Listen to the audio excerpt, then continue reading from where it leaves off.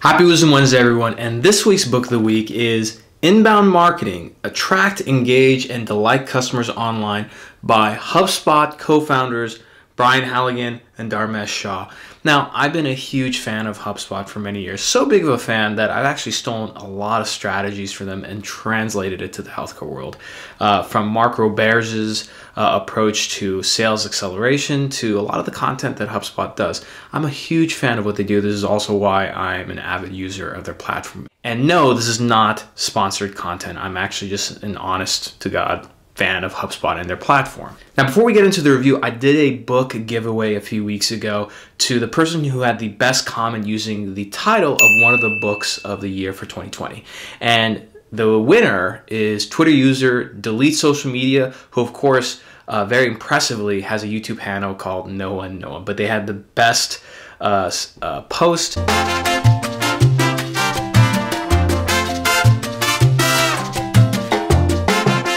So congratulations on the book. Uh, I hope you enjoyed. And here's a cool thing is that this user got a rare edition of Loser Think by Scott Adams. The edition that they got has a typo or misprint because it's actually how um, how untrained minds are ruining America. But the version that they got uh, has the word America switched with world. So they got a rare version of it. Uh, hope you enjoy it, and I'll be doing more book giveaways like that soon. So while this is a bit outdated on the technical aspects, such as some you know specific things around SEO and, and digital, for the most part, the foundational principles here are super important in terms of how do you actually use inbound marketing, meaning how do you get customers to come to you versus sort of the old school outbound uh, showing up without permission marketing right? Because nobody's interested in that. How do you get your uh, customers to your website? And as HubSpot, because of their name, indicates how do you turn your actual website and brand as a hub for information and content for your customers. But before we talk about some key lessons from this book, I want to highlight something specific about HubSpot's, HubSpot's approach and a way for you to think about business. So with a little bit of internet magic, so in the business world, we often like to think about things as funnels, right? You know, um, and it's very easy to see it that way because anytime you look at a conversion chart, it, it's just in a funnel, right? You know, you start with a lot of stuff on top, like let's say a lot of people who engage with your company at first, and then a smaller amount who engage even more, a smaller amount that engage even more, until a few come out of the bottom, right? And those are the ones that convert.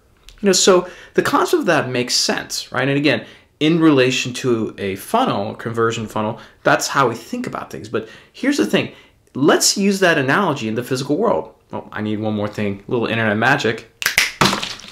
So, in the physical world, when we use a funnel, right, and we pour stuff on top, what comes in top all all ends up going through this funnel. It all ends up here at the bottom. And then more specifically, if you haven't noticed, what ends up going on top never has any issues going through the bottom here because what ends up coming out down here does not impede what's going out up here, right? And if you think about this as leads, right, you just gotta keep adding more and more and more and hey, look, conversion. But that's the problem is that we're not dealing with the physical world in, in business, right? At least not conceptually.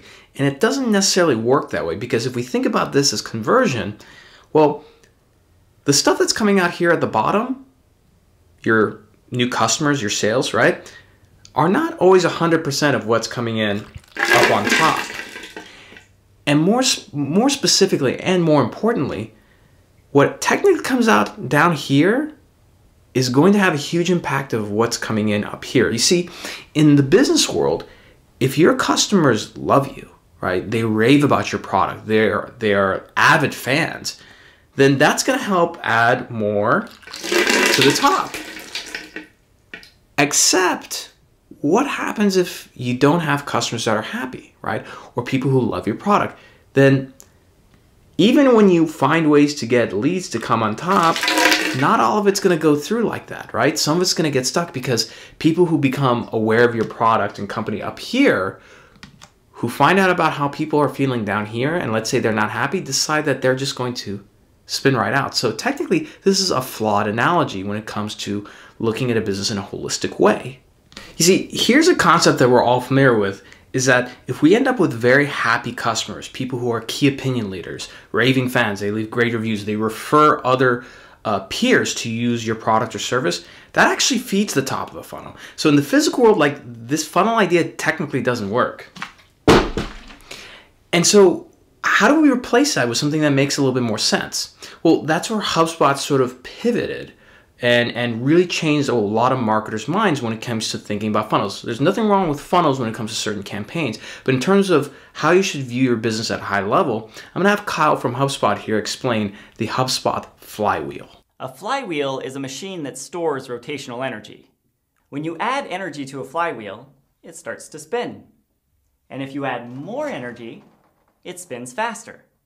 And unlike a funnel, where the only way to maintain a constant speed is to keep adding stuff to it, a flywheel will keep spinning unless some other force comes along and slows it down. From a business perspective, the rotation of the flywheel represents the growth of your business. And happy customers provide the energy that fuels that growth, either because they buy from you again or because they bring new customers to you by promoting your product to other people in their network. But if you produce unhappy customers, either by selling to people who are a bad fit for your offering or by overpromising and under-delivering, they'll work against your flywheel and slow your company's growth. And that makes complete sense, right? When you start focusing on these things, because the whole customer journey isn't just as simple as start to end and we're done and we go on and sell the next thing. Maybe 20, 30 years ago, before SaaS was even around, right? You just go and sell very expensive software, and because the company invested, they're stuck with it, right? You move on to the next thing. We don't live in that world anymore. We live in the age of the internet, right?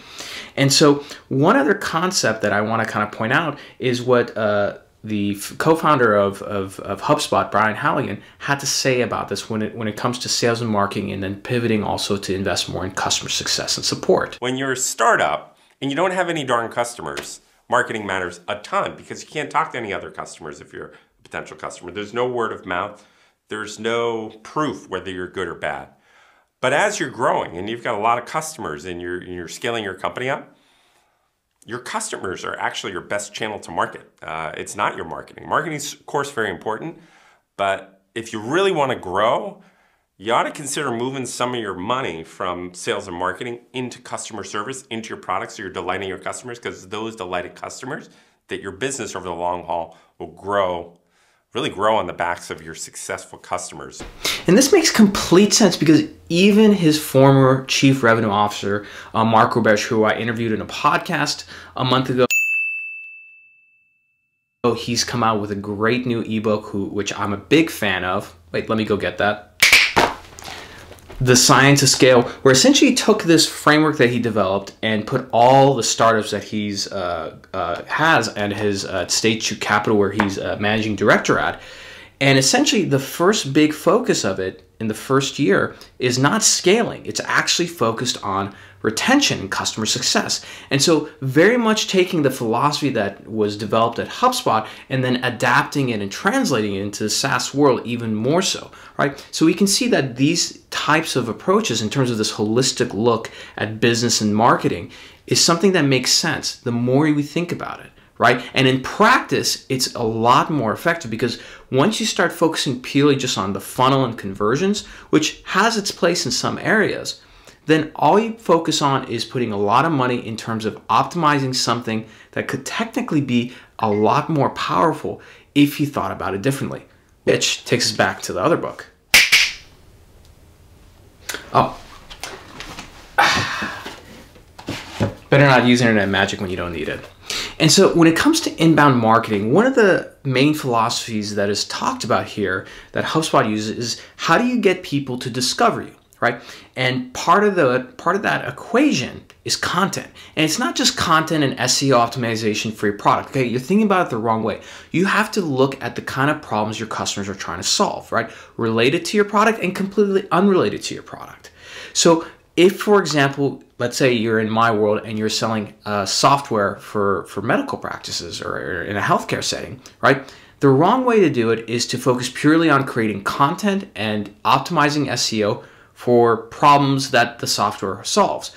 We expand out higher and focus on other things that have to do with my customer, right? So for me, my customer are physicians. So physicians in my area are interested in entrepreneurship, they're interested in finance, they're interested in marketing, all these different things. And so how do we focus on creating a hub for information and content so people can land on your website and as you start to optimize to figure out what that journey is and how do you qualify certain leads, that's when you start worrying more about about segmentation and conversions, etc.